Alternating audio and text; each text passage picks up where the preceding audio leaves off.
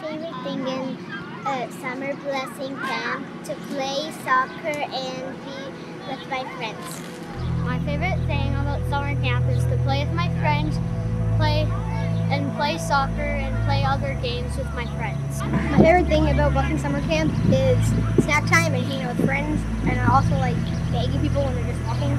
My favorite thing about Blessing Summer Camp is you get to see all your friends, get to play soccer, and snack time. I like snack time.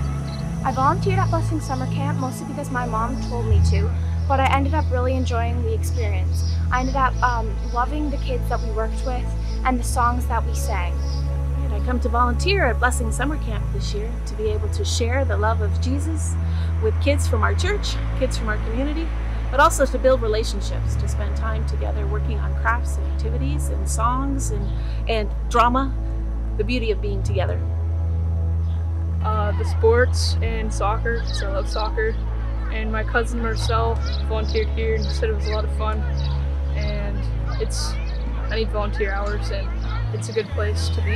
Uh, last year, my, my daughter came to, to camp and she had just uh, an awesome experience and uh, I saw her come home with enthusiasm and she was learning lots, not just in, in arts and crafts, but she was learning lots during Devo time, during Bible. She um, was just enthused and I, I, could see it from as a parent and uh, working with kids uh, year to year as a, as, a, as a teacher.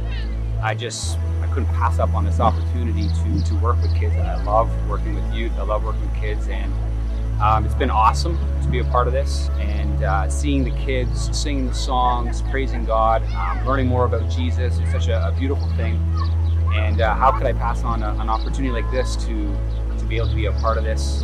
And the leadership here is phenomenal. Um, to see God at work, and it's just uh, it's, a, it's a great time. So.